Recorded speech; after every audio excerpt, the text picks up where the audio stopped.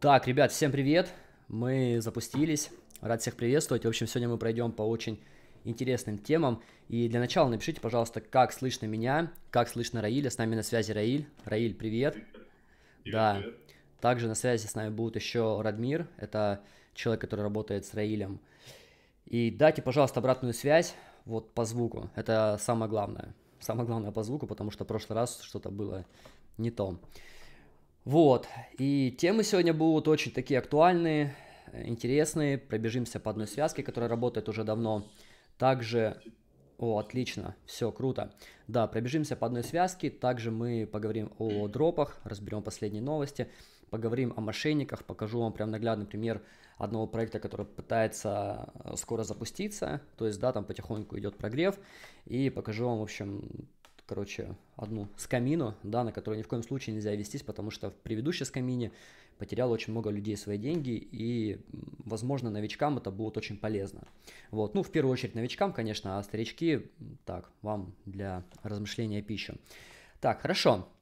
А, тогда, тогда включаю демонстрацию экрана, и мы начинаем. Мы начинаем.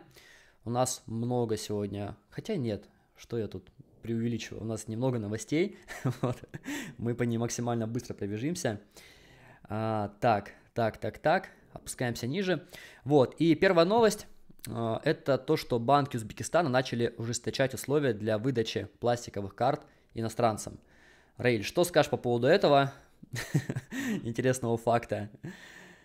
Ну, Скам, то есть все. актуальные банки это ИПАК Юли, Кап- Капитал, э, в общем, их, да, и так было сложно получить, сейчас еще ужесточили. Ну, для этого есть сами узбеки, у которых можно брать карты, брать в аренду и так далее, и можно крутить. Но момент в чем, то что а, связки, которые мы крутим через Узбекистан, там обменники заряжают не, не совсем сладкий курс, то есть там а, от полтора процента. Это не совсем круто.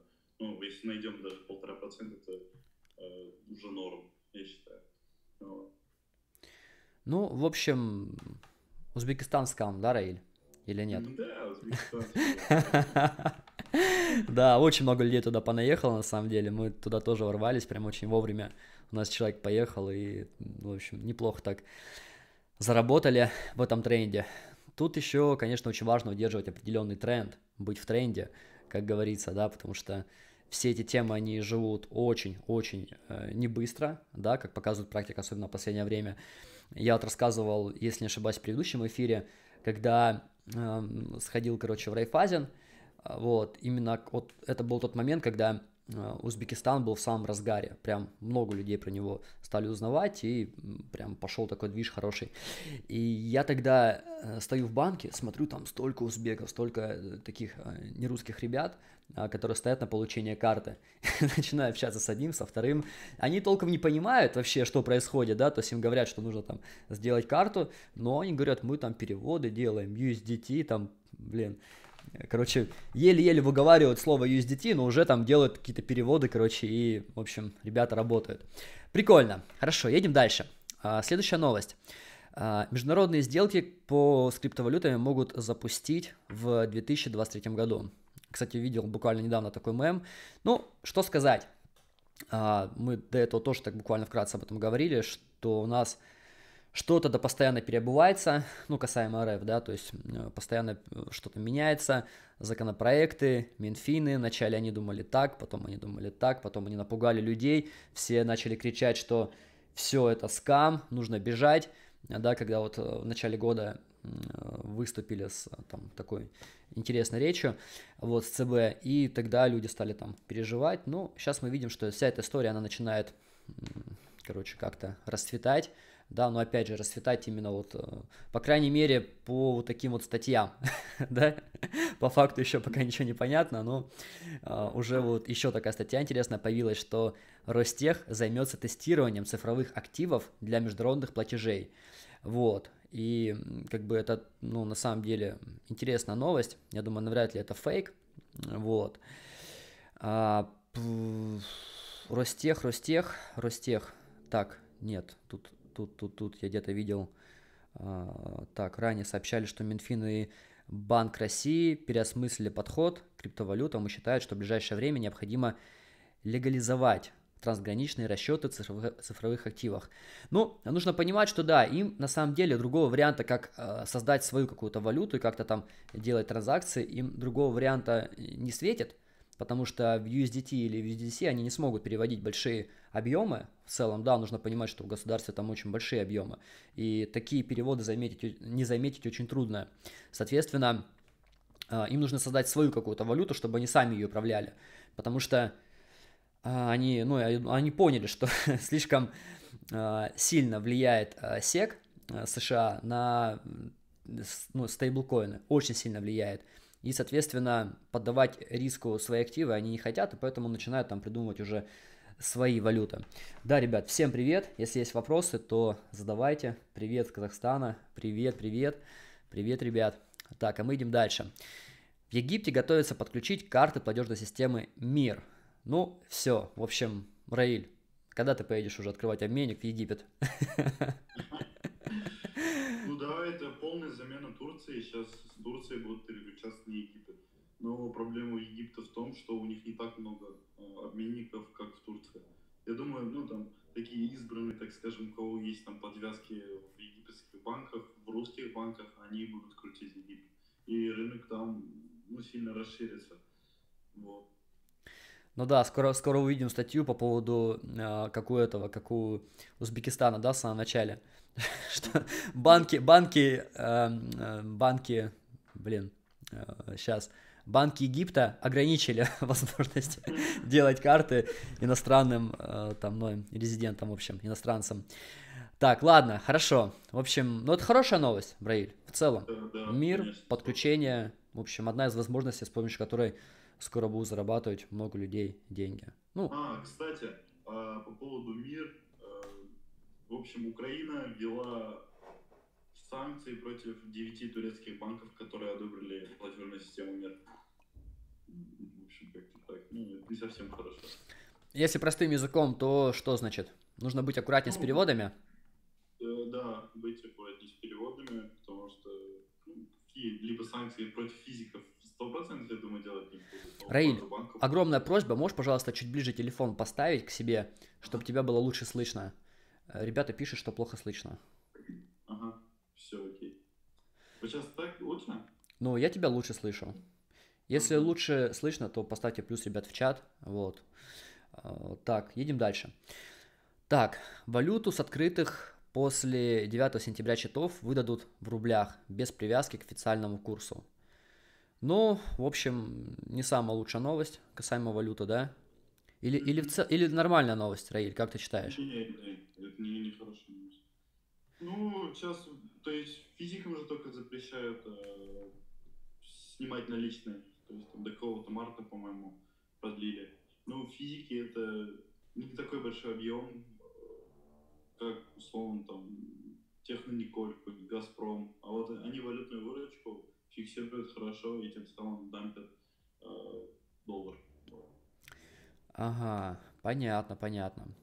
Ну, в общем, в валюте скоро, наверное, хана будет, да, в России? скоро, ну, скоро просто куда-нибудь ее денут, вот, и будут ее как можно меньше. Ну, видно, что такими способами они хотят избавиться от нее максимально, да, то есть, и все чаще мы видим цифровые активы. Ладно, посмотрим опять же, да, это много-много слов, вот, дел не так много. ЦБ будут продвигать возможность трансграничных расчетов с помощью цифрового рубля. Ну, в общем, еще одна новость по цифровому рублю, мы об этом говорили. А, Пройдем дальше. Так, под санкциями будут все банки РФ. 7 сентября российский банковский сектор должен работать так, как если бы под западными санкциями находились все его участники, а не только лидеры, считает глава Игорь Шувалов. А, не будем полностью читать, что считает Игорь Шувалов. Но в любом случае это, блин, конечно же, это не очень хорошо. В любом случае, вот у Раиля была ситуация, связанная с э, тем, что у него зависли деньги, да, то есть, и она еще не решилась, так же, Раиль? Да. То есть, ну, вы, вам нужно понимать, что вы можете делать перевод куда-то, банк может э, попасть под санкции, и ваши переводы могут ограничиться. Ну, то есть, как бы вот такая история. Поэтому такая тема. Не очень хорошая. Ну, едем дальше. Мы имеем, что имеем. А, Грузия готовится присоединиться к единой зоне платежей в евро. А, Раиль, слышал эту новость? Что по ней? Вообще есть мысли какие-то? Ну, нет, я впервые слышал. Да, ну, в общем, Грузия готовится присоединиться к единой зоне платежей, а, которая облегчит денежные транзакции со странами ЕС. Ну, ничего, посмотрим, как отреагирует рынок на это. Но для нас самое главное, чтобы спреды были. Вот. Посмотрим, как по факту отреагирует. Это было 5 сентября. Вот. Ну, это 5 сентября вышла новость. А когда по факту это произойдет, еще непонятно. А, так, так, так, так, так, так. О, интересная новость, ребят, наконец-таки настала справедливость. И за э, Доквоном пришли органы. Вот. Доквон это человек, который создал Луну и который ее успешно скоманул. Сейчас был недавно памп рынка, люди стали говорить, что о, круто, сейчас мы полетим на доллар по стейблу. По стейблу там, ну и Луна сейчас вырастет. Типа сейчас все взлетит вверх, но не тут-то было, короче, помпанули, опять сбрили людей, и, в общем, эм, его в итоге эм, хотят посадить. То есть ему уже дали ордер на арест. Ордер на арест это не значит, что его посадили, вот, но, возможно, произойдет это в ближайшее время. И на самом деле это, ну, вполне правильная штука, да, то есть, и это говорит о том, что, хотя, конечно, сколько времени прошло после этого, то есть, ну, тоже как-то странно, да, то есть, как они реагируют на эту всю историю. Это было еще давненько э, с Камлуна, но, блин, сейчас они только за него взялись нормально, да, то есть, уже там дело дошло до суда. Хотя до этого вроде как все было у него норм, мы об этом тоже говорили в предыдущем эфире, думаем, блин, какая несправедливость. Э, основателя Торнадо Кэш э, взяли, да, то есть там пошла вот эта развязка с делом, а Док Вон, который скоманул на миллиарды долларов, Э, людей, то есть он как бы нормально все живет и выдает интервью. В общем, да, так эта вся история работает. Посмотрим, что будет дальше. Ну, покупать Теру, Луну и TUSDT, TUSD я, конечно, никому не рекомендую. И если, опять же, если покупать такие активы, то нужно понимать, как эта вся история работает. Я не совсем понимаю, я не слежу за Луной, и я не лезу. Уже очень много раз терял деньги на подобной такой истории, но сейчас ну, не хочу. Едем дальше.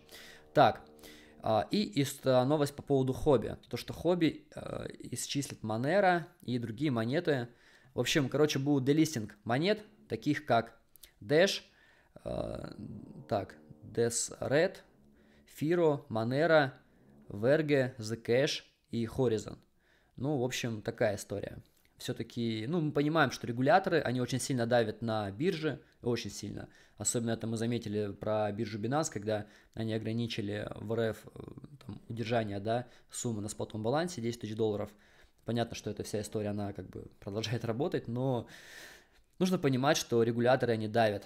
И, опять же, да, говоря про биржи, мне, кстати, недавно написал один человек по поводу э, Sky BTS, мы до этого там делали видеоролик, и говорит, а можно ли доверять там, а, там какому-то обменнику там или бирже или еще что-то. Ребят, по поводу доверия вам решать уже абсолютно каждому из вас в целом, да, то есть нужно понимать, что любой обменник, любая биржа может а, вас просто взять и заблокировать, в любая биржа.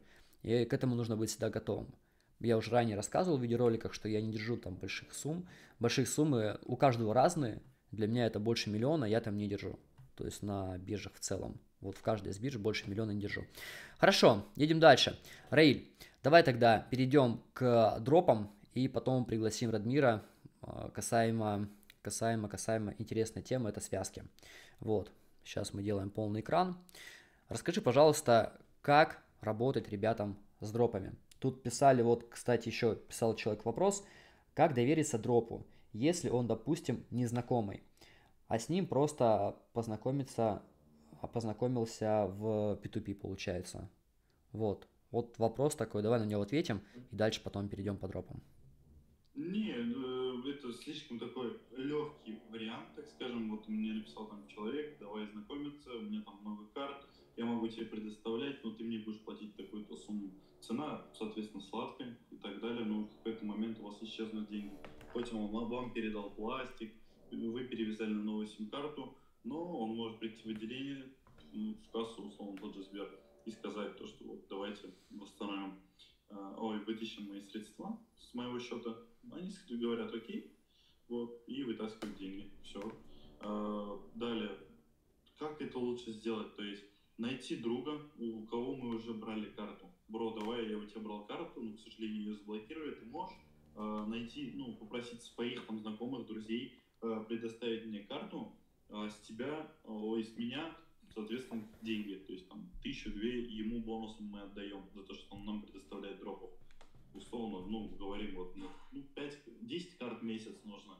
Э, я плачу за каждую карту ну, 2000 рублей. Это двадцатка тебе в месяц, прикинь он скажет, да, окей, ну, ну кто-то замотивируется, кто-то будет предоставлять, у кого есть нужда в деньгах. А, и, соответственно, это его знакомые, которые не захотят его обманывать. Ну, разные случаи бывают, но мы, соответственно, вот по такому ритму двигаемся. То есть у нас есть люди, у кого мы брали уже Тиньковы, но Тиньковы, соответственно, заблочили, потому что очень быстро блочат. Теперь нам пригодились Сбербанки. Мы у этих же людей забираем в Сбербанке. Вот. Там нужен Райфайзен, мы забираем у них Райфайзен, либо просим открыть счет в Райфайзене, моментально карту за день открываем. Вот. То есть как искать, это просто просить знакомых, давать мотивацию в виде денег. А, далее договора, не договора подписывать, все зависит от вас, то есть от вашего бэкграунда, который вы прошли до этого, обманывали ли вас дропы. Если вас обманывали, конечно, вы а, придете к мере подписания договоров а, и, соответственно, будете... Вот, Раиль, смотри, смотри, Раиль, вот человек новичок, в целом, как бы, да, человек новичок, вот он говорит, что списался там с человеком с какого-то общего чата, ему доверять не стоит. Также? Конечно. Хорошо, если новичок, тогда нужно обращаться к знакомым и уже э, там, да, разговаривать с знакомыми. Но да. как бы и если это человек знакомый, то какой-то там договор просить тоже как-то очень не очень, ну, да, как-то типа. Да, такой себе. Если знакомый у знакомого берет, тоже как-то не очень. Ну, ты приходишь к мере того, когда условно твой дроповод, ну, твой знакомый, который предоставил там, тебе условно 5-10 карт, мы приходим к тому мнению, смотри, вот ты зарабатываешь типа 20 тысяч в месяц э, за то, что я покупаю через тебя карты, ну, то, что ты ищешь карты.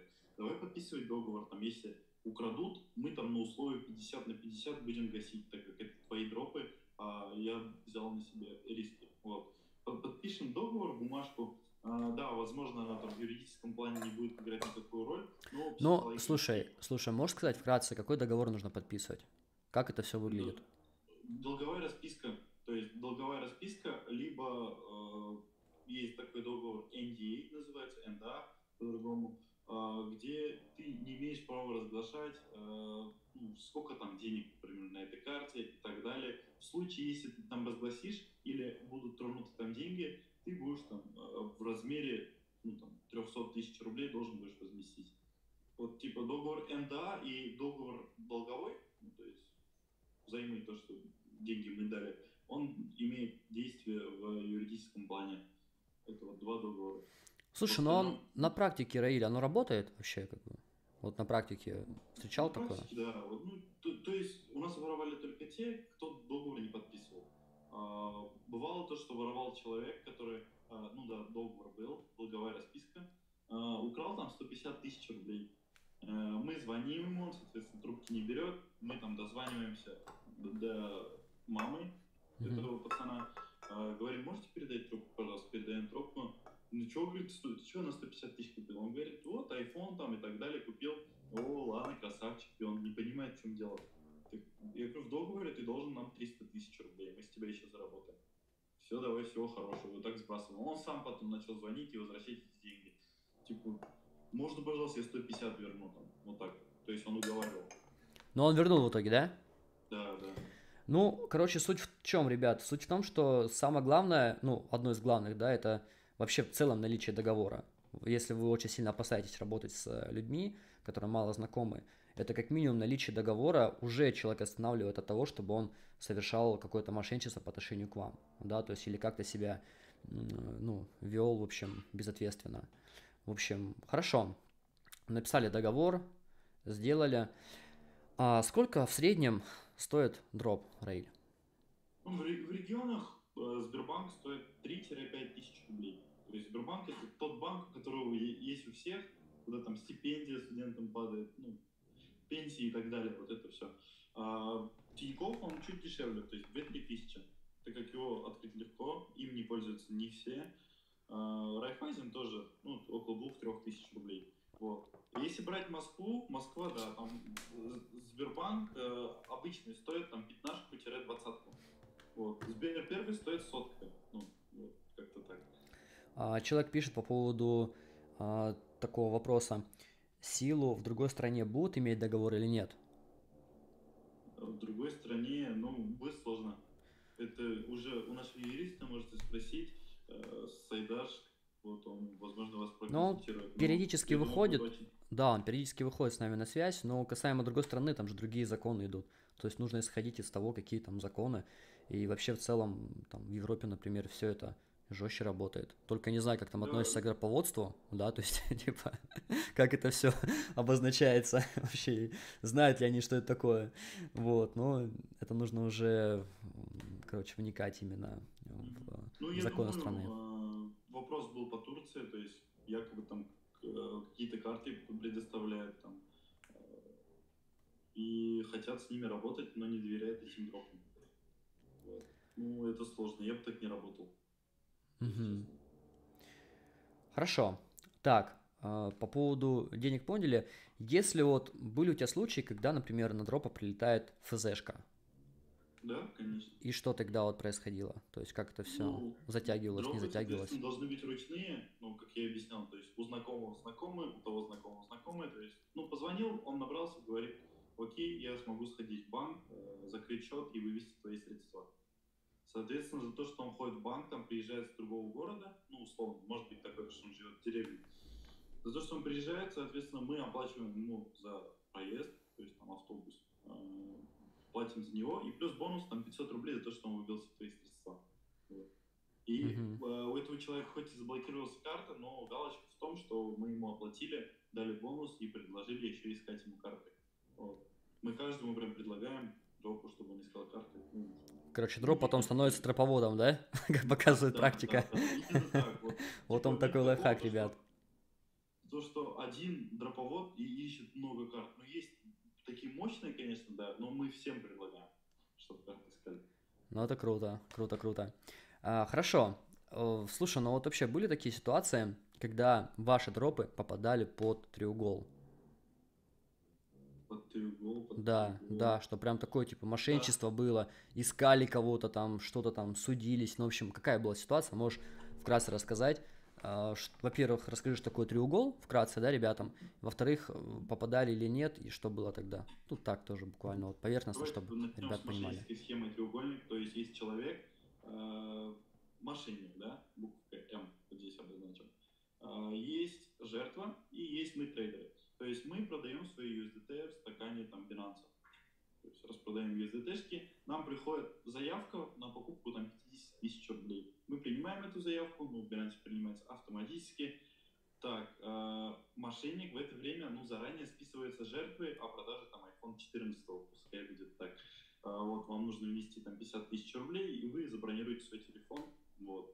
Э, жертва из-за сладкой соглашается, Окей, говорит, в это время мошенник создал с нами сделку, копирует наш номер карты, отправляет наш номер карты жертве, жертва по этому номеру карты оплачивает за iPhone якобы.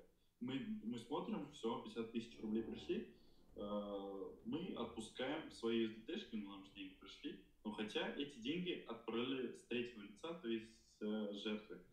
Что происходит? Мошенник остается при бесплатных э, USDT-шках, uh-huh. жертва остается без своих денег, мы остаемся с заявлением в полицию. Либо в суд. Угу. Так. И были такие ситуации у вас с дропами? Да, да, да были. А, то есть мы попали на мошенническую схему треугольник. А, с этой карты я выводил на свою там а, Райфайзен карту. И вышли не на дропа, а на меня. Я uh думаю, как так? Ну, типа, сто процентов дроп стал. Я, то есть, с ребятами, ну, созваниваюсь, советуюсь. Я говорю, ну как на меня они вышли? То есть, ну, полиция вышла на меня. Э, объясняют то, что дроп меня не сдавал, у него вообще прописка не там, возможно, к нему приезжали, но не нашли. И позвонили мне, ну, то есть я им всю ситуацию объяснил, э, вызвали меня в Москву. Я говорю, ну, в Москву я не могу, давайте в Казань. Они сказали нет. на все, ну, то есть, где было написано заявление, там и происходит, э, ну, то есть, допрос. Да. Вот. Ну, я приехал, объяснил все, и все, уехал. Ну, так в ну, итоге все хорошо. Если вас вызывает полиция на допросы, либо опросы, хотя это одно и то же на самом деле, э, просто для них, ну, они показывают, что это обычный опрос, все будет хорошо, ни хера подобного. Всегда берите с собой юриста. Вы на этом сэкономите себе э, нервы, э, ну, вдруг что-нибудь там понавешают, но вы законов не знаете. Лучше позовите юриста с собой. Вот это стопроцентная информация. Хоть он даже не, не шарит за крипту, просто объясните ему ситуацию, что произошло, вот мошенническая схема треугольник, и все, он сам дальше все сформирует. Вот. Угу. Ну, в общем, у тебя в итоге все закончилось нормально, да? Ну, да. Бывали, бывало много случаев, так скажем. Угу. Хорошо. Так, ребят, если есть вопросы, то задавайте вопросы. Сейчас поедем по следующей теме. Вот э, человек пишет по поводу ФЗ-115. Так, как обходить блокировку карт? Ну, Игорь. самый распространенный вопрос. И Рейль, пожалуйста, поближе к телефону просят еще. Вот. Ага.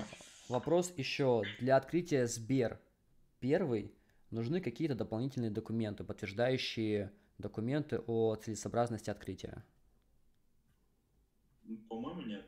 Просто говорим то, что мы являемся клиентами ну, премиальных карт это Тинькофф, Райфайзенбанк, объясняем то, что э, Тинькофф это такой себе банк, то есть э, сдает там налоговую и так далее, поэтому не хочу, чтобы мои акции хранились там, я хочу, чтобы они хранились, э, ну, условно, в Сберинвестиции. Вот, объясняем это, далее говорим то, что Сбер первым не, не нужен для того, чтобы получить бесплатный доступ э, на бизнес-залы в самолетах. Далее э, говорим, ну, желательно принести пачку налички. Ну, там 2-3 миллиона, ну, у кого нету, ну, я просто говорю желательно. То есть принести эту наличку, положить прямо на счет. Можем сразу положить деньги, если вы не откроете. Они говорят, да, окей. Если видите наличку, то, что вы там при деньгах, то, скорее всего, откроют. Но у них есть э, ежемесячный план, Э, по открытию премиум клиентов, э, то есть там условно 20 человек. Если там в этом плане уже есть 20 человек, э, то вам не откроют никак, сколько у вас там денег не было. Mm. По сути, никакие документы не просят. Короче, могут не открыть еще, да? Да, да. Ну, в общем, ну, такие дела. Отказов. Ну, процентов 90 отказов 100%. Ну, в общем, со Сбером первым карта живет лучше. Не, ну, не совсем не совсем. Тут такие же блоки. Кто говорит то, что э, со Сбербиром э, карта живет дольше, блокировок нет, все то же самое. То же Просто самое. у тебя есть личный менеджер, который будет вытаскивать эту карту со 115 МФЗ, ну, по крайней мере, помогать. Но документы тебе будет собирать самому. Ну, короче, в любом случае хуже не станет, если есть такая возможность. Ну, если да, нет, то сильно, то сильно не расстраивайтесь, как бы, да, то есть тут ничего такого катастрофического нету. Так, хорошо. Сейчас я включу экран и обсудим еще одну интересную тему, очень важную тему, я считаю, и перейдем к связке, к одной связке. Нам расскажут, как, как с ней можно поработать и в целом дадут обратную связь.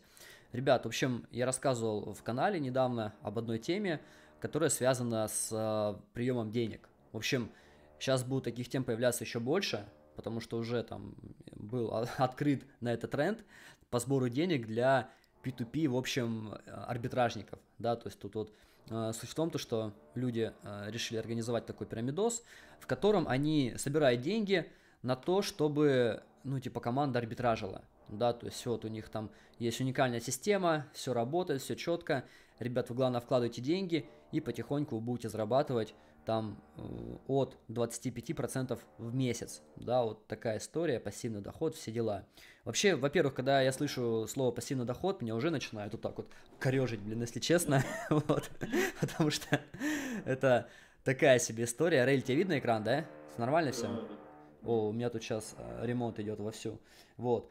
И поэтому на такие штуки, я понимаю, что хочется быстрого заработка, легкого. Сюда заходит очень много новичков, которые толком не понимают, как это все работает, и обжигаются на...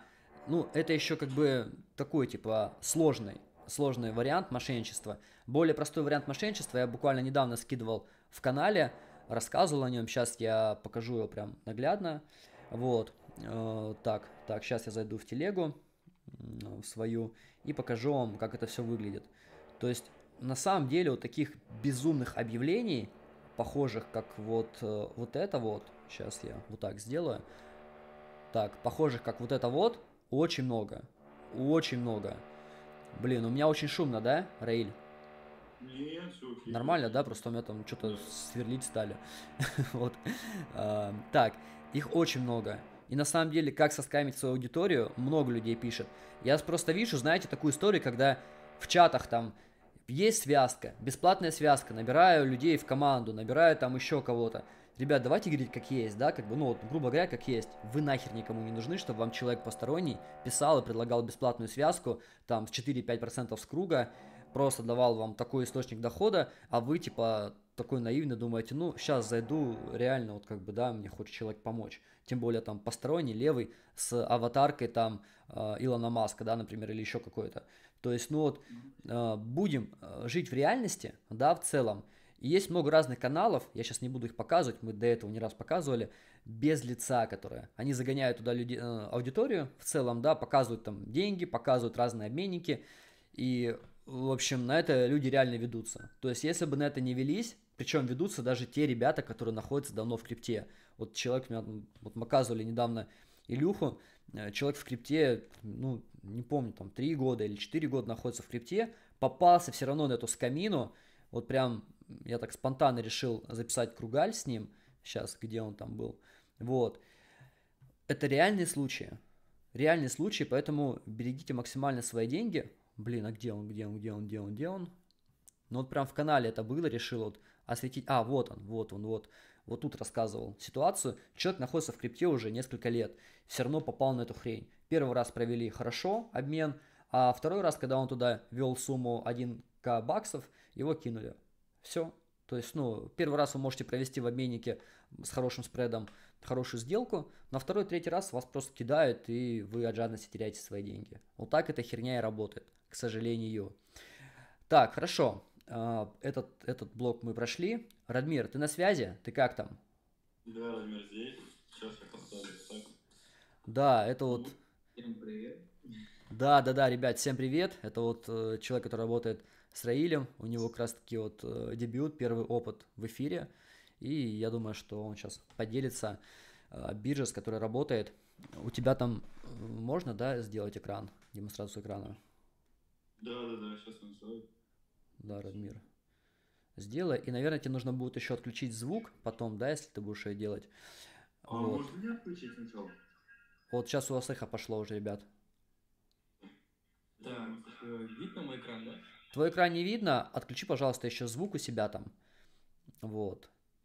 Или тебе, Раиль, нужно звук отключить, чтобы было Радмира слышно лучше. Так, а я сейчас, может быть, еще вот так сделаю. А ну, включи экран. Твоего экрана пока не видно. Я не вижу. Если вы, ребят, видите, то поставьте плюсик в чат, если видно его. Во, сейчас видно. Все окей. Видно, но не слышно теперь. Вот. Так, сейчас слышно, да? Да, вот сейчас слышно, сейчас слышно. Ну, кстати, Рейль, ты Ага. можешь свой выключить микрофон, а Радмир можешь включить, чтобы его было лучше слышно. Как вариант можете так Есть- сделать. Так, так эхо получается, бро. Не, если ты свой отключишь, а Радмир Я включит, отключал, я отключал. Не А. получается. а эхо не будет тогда что-то. Один, один звук будет всего лишь и все. Ну, давай сейчас еще раз попробуем. Давай, попробуй, отключи.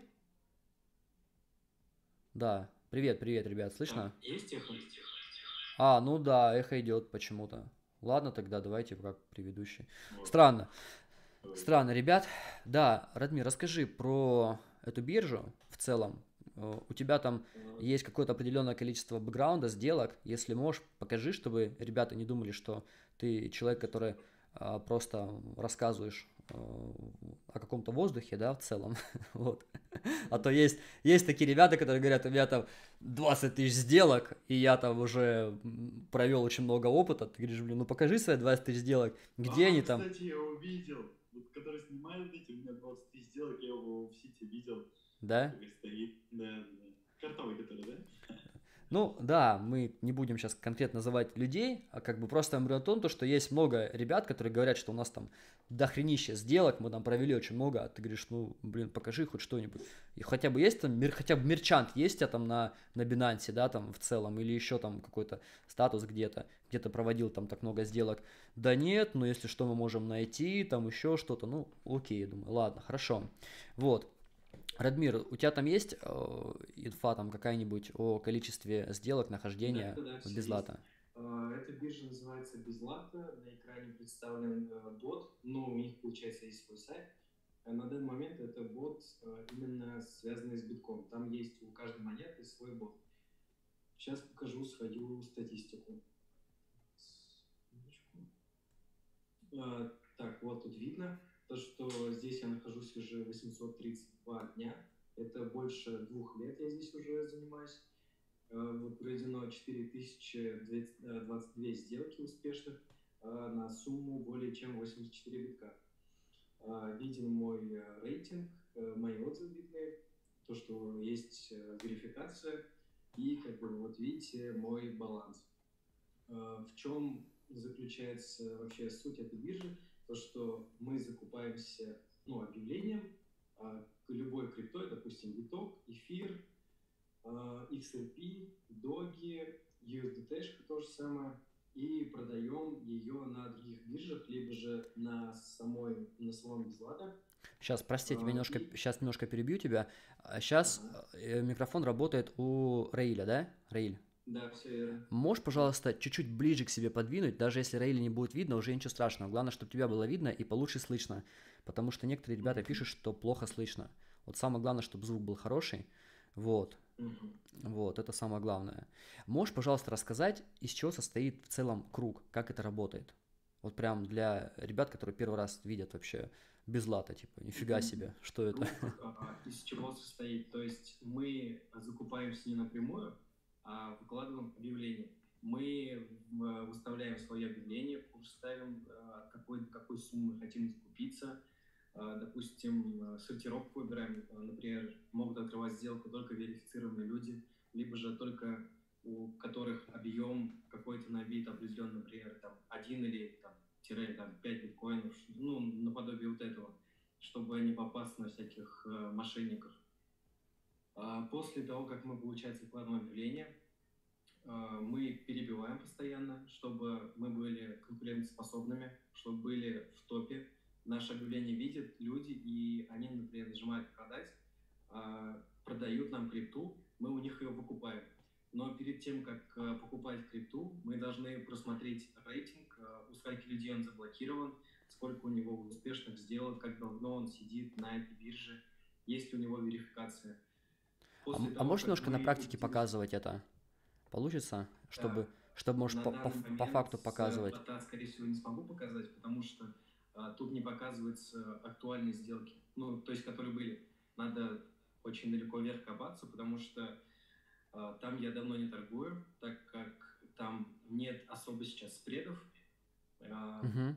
нет спредов, а, ликвидности мало, так как а, вся ликвидность, а, можно сказать, многие сейчас крутят международку. И на P2P ликвидность везде просела. Кто бы ни говорил, то что везде есть там проценты. Возможно, есть процент, да. Один там 0,7 есть процент.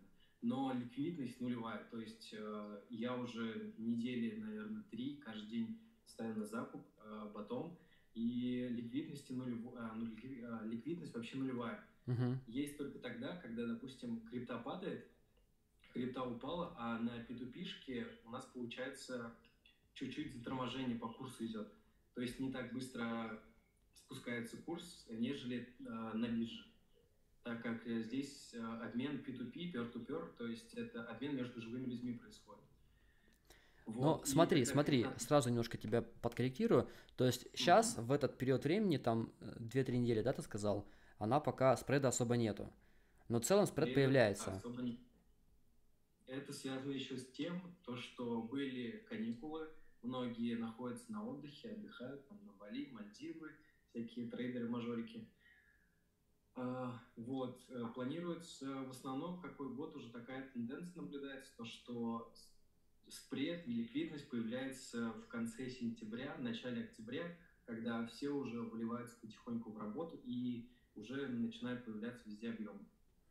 Угу. Да, ну то есть э, из этого нужно понимать, что сейчас данная связка, она не совсем актуальна, но в целом она рабочая, и человек тут уже более двух лет находится, и, в общем, мы видите его объем, не такой большой, да, в целом, но он как бы есть, вот, и э, как бы он, это все работает, вот, а, хорошо, вот, предположим, я новичок, да, я не знаю вообще в целом про безлата, расскажи, вот, какой подводный камень есть без лата, чтобы я начал с ним работать в целом, из чего бы начать, ну, из чего вообще начать работать? А, подводный камень заключается в том, что новичок здесь не сможет изначально торговать, потому что а, после того, как ты зарегистрировался, прошел верификацию, а, нужно, чтобы прошло пару дней. По-моему, раньше это было два месяца, спустя два месяца, и сейчас это, по-моему, 0,5 битка надо прокрутить, чтобы встать объявление в стакане, так как если новый аккаунт заходит, туда а, верифицируется, он будет появляться на последней странице из-за того, что не выполнены вот эти вот условия, которые я рассказал. А для верификации что нужно сделать? Как проходит верификация? Для верификации, то есть нужна фотка паспорта. Так. А потом получается лицо а, и паспорт так держишь, такая фотка нужна. И Э, на листке пишешь э, фотографию, а на листке пишешь без лата, э, дату, так, и, по-моему, на фоне сайта нужно фотографироваться. А блокировать нужно какую-то сумму денег или нет? Здесь раньше было 0,004 битка, чтобы объявление вставать. Сейчас, по-моему, уменьшили в два раза. В деньгах-то сколько примерно плюс-минус? В рублях, я имею в виду. Плюс-минус. В рублях где-то в районе 10 тысяч. А, 10 тысяч рублей, ну то есть это доступная да. сумма. Хорошо, то есть прошли верификацию, в итоге нужно прокрутить небольшой объем для того, чтобы, mm-hmm. в общем, объявления стали уже выноситься вверх, да? Да, да, да. Ну, например, как это можно набить? Например, а, закупаемся Гарантекс, все, наверное, биржу знают, либо же можно закупаться, просто нажать «Купить» на безлата и там же распродавать. А, первое время будете уходить в минус, но 0,5 битка это всего лишь 600 а, тысяч. Их как бы можно прокрутить э, за меньше, чем час, наверное. А, после того, как их прокрутили, у вас уже объем набился, и как бы все условия проделаны, и можно будет уже объявление выставлять. Угу. Хорошо. А как ты порекомендуешь э, ну, эту связку, с чем использовать вообще в целом? А, раньше была как ликвидность. Была ликвидность и на закуп, и на продажу. Так. Но на продажу сейчас ликвидности нет. Вот это, честно говоря, не знаю, с чем связано. Возможно, э, возможно из-за того, что э, вся ликвидность ушла в основном на Binance. То есть на Binance очень быстрая продажа происходит. Да. Можно, например, как делать? Э, покупать объявлением на безлата, а, так как там дешевле закуп, чем на Binance бывает, и чем на Гарантексе, и на других биржах. Ну, Но, Но мы говорим сейчас про биткоин, сейчас, да, говорим про биткоин? Да, да, да. В основном ликвидность, а, более ликвидные такие, это Безлата, Гарантекс, Binance, и мы, получается, закуп делаем на Безлата объявлением, и потом, получается, перекидываем эту крипту, именно, ну, когда про битки рассказываю, там только есть сеть BTC, э, Э, но по ней идет э, крипта долго, это где-то час-два. Но есть такие сервисы, которые переводят, помогают переводить быстро крипту, но их как бы, назвать не могу, так как там не совсем большая ликвидность. И как получается, мы переводим крипту на другую биржу, распродаем ее также. На Binance получается, да? На Binance, либо По- покупаем, на покупаем на безлата, да, да, продаем на Binance, переводим на Binance продаем ее там, правильно? Да, да, да. Так. И после того, как распродали, мы уже как бы деньги обратно получили на карту. Да. Все закуплено, распродали, и круг возобновляется. Да, вот тут человек пишет, если мерчант на безлата, и как его получить? А мерчант – это такого понятия нет, есть просто верифицированный человек. Ну, то есть обычно верификация обычного пользователя, да, да? то есть да. каких-то преимуществ она не дает в целом. Преимуществ нет, не дает. Ну, кроме Но того, что можно торговать спокойно. давала раньше, потому что открывают сделки в основном с доверенными лицами по верификации. Потому что если нет верификации, они могут там тормозить э, сделку, э, долго отпускать криптовалюту, ну, наподобие вот этого. А сейчас такого нет, потому что то ли с начала сентября, то ли с августа сделали нововведение в плане того, что нельзя вставать э, на закуп с объявлением, если у тебя нет верификации. Угу. Хорошо. А, тогда еще такой вопрос. Вот мы э, переводим с безлата биткоин на, на Binance. В среднем он по времени сколько идет, если мы не используем какие-то сервисы? А, в среднем а, от 30-40 минут а, может идти, если сеть сильно перегружена, допустим, сильное движение крипты, например, там плюс-минус 5% там просадки, либо же то, что растет, сеть перегружается, то, что ну, люди гоняют крипту туда-сюда на ну, разные биржи. От 40 минут получается, да? От 30-40 да, минут. Да, может доходить до 10 даже часов. У меня бывало то, что утром отправлял, а вечером ночью отправлял, у меня доходил только рано утром. Бывало такое. Слушай, ну это же трэш. То есть за это время биток может э, обвалиться до там с 20 до 8 тысяч долларов. Я шучу, конечно, ребят, чтобы не пугать вас. А в этой ситуации что ты делаешь? То есть какие у тебя были такие фокс-мажорные обстоятельства, когда ты реально ждешь полдня, когда придет биток, он пришел, и биток упал вниз. Вот в такой ситуации что делать? Э, раньше я хеджировался, то есть э, вставал шорт, допустим, на Binance, когда не было ограничений вот этих по лимитам 10 тысяч долларов, э, когда еще не знал про разные сервисы, которые можно быстро перекидывать крипту. Там с помощью них можно перекидывать буквально в течение 10 минут с одной биржи на другую. И вот сейчас, когда узнал, только по таким сервисам гонять, потому что нет каких-либо задержек, все происходит быстро, и как бы хеджироваться не надо в течение 10 минут – там может произойти движение, ну, на полпроцента, но от этого как бы много не потеряешь. Я понял. В общем, нужно понимать, что сейчас появились способы именно подключать сервисы. Да, какие сервисы, это нужно вам самостоятельно искать, потому что э, про них Радмир не скажет. Вот. И их использовать для того, чтобы вы смогли быстро перегонять с э, безлата там, на тот же самый Binance. Вот. А ты мог бы показать пример хеджирования? Или у тебя не получится это сделать? Например, ребята, которые не, по, не сейчас, сейчас, сейчас, ребят, например, которые сейчас, ребят, например, которые не понимают, как э, делать хеджирование и где сервисы искать, то как бы вот какой-то хотя бы вариант показать им на будущее, как делать хеджирование.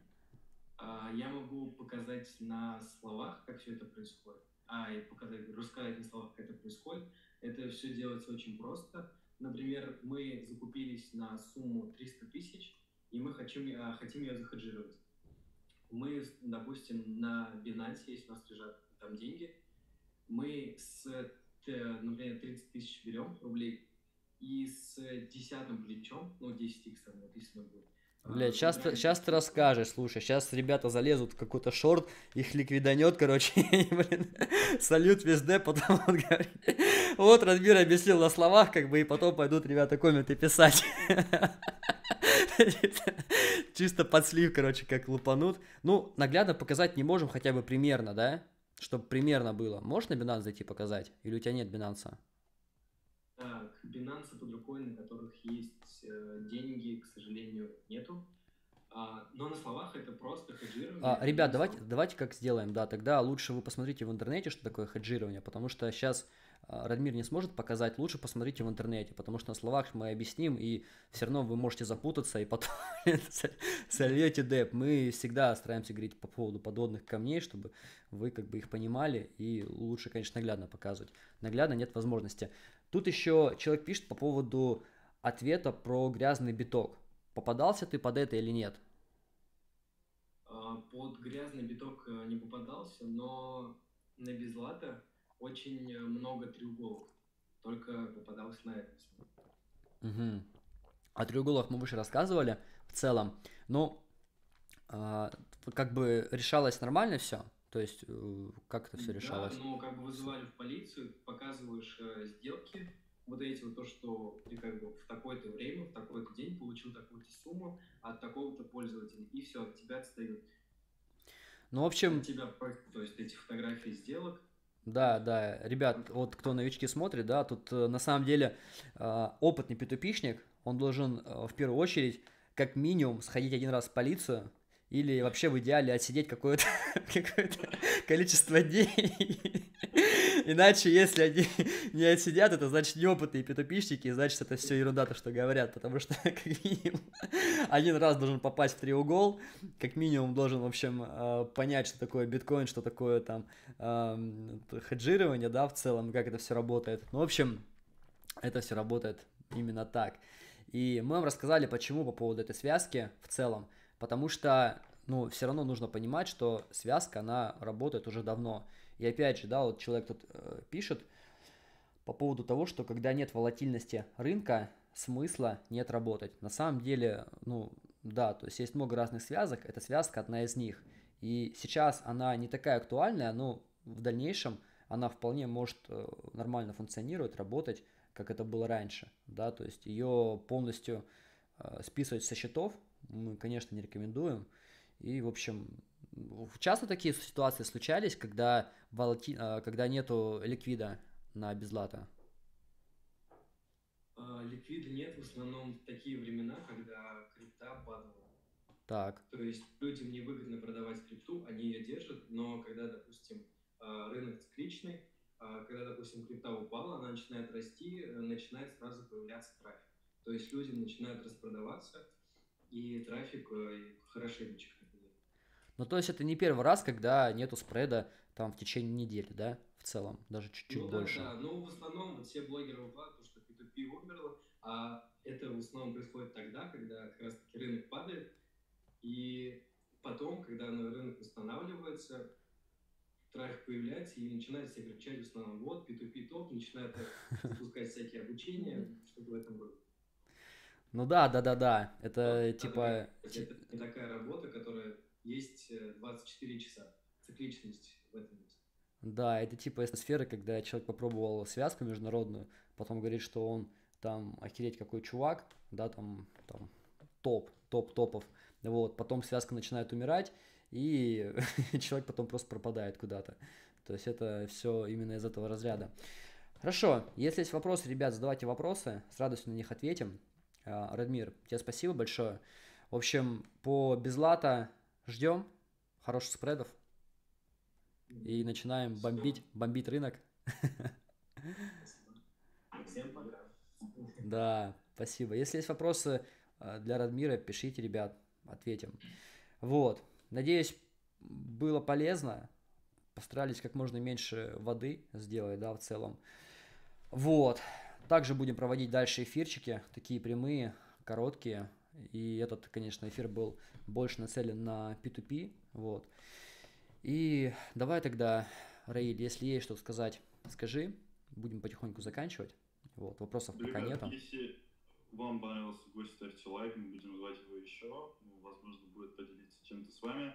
А, если вы хотите юриста, пишем юрист, криптоюрист, позовите его мы с Ромой обязательно позовем и ответим на ваши вопросы. Нужны интересующие темы. Про 115 ФЗ, про треугол мы это все рассказали. А, давайте интересную тему. Возможно, у вас какая-то ситуация произошла, мы обязательно разберем, потому что это и нам самим тоже полезно. Вот, в общем, в целом все. Угу. Хорошо, ребят. Тогда, тогда, тогда, тогда. Всем хорошего дня. Будем на связи. Если будут вопросы, то пишите. Также ссылка на нашу телегу будет в описании под этим видео. Всем, как всегда, профита, всем успехов, всем пока, всем пока.